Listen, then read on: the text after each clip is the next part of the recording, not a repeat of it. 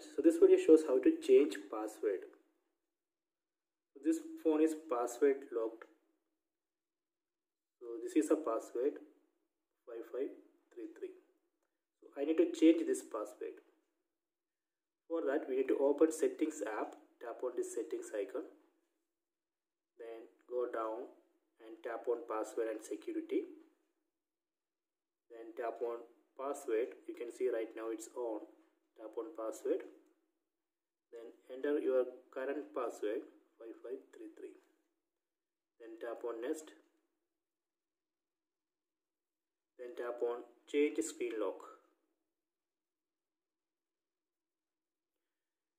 So if you want to change to pattern or password you can change it now. I don't want to change to pattern or password.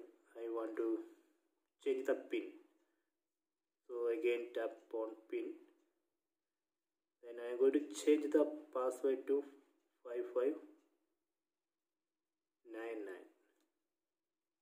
then tap on continue. So we need to confirm it. 5599 then tap on ok done. So let me confirm it.